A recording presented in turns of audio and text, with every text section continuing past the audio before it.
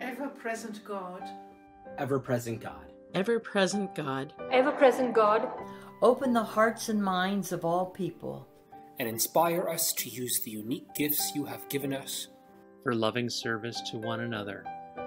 We pray especially now for those women whose gifts are best suited to serve your church. As ordained priests. Empower them with courage as they answer your call and strengthen them for humble service. Great compassion and insightful wisdom.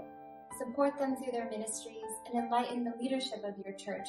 To practice the equality that Jesus modeled to embrace all people whom you have gifted for sacramental service. Strengthen your Holy Spirit within those you have chosen for priestly ministry. May they answer your call and follow you with generous hearts. We ask this in the name of Jesus, who called Maria Magdalena and Phoebe, as well as Peter and Paul, to serve and minister in the early Christian communities. Amen. Amen. Amen. Amen. Amen. Amen. Amen and amen.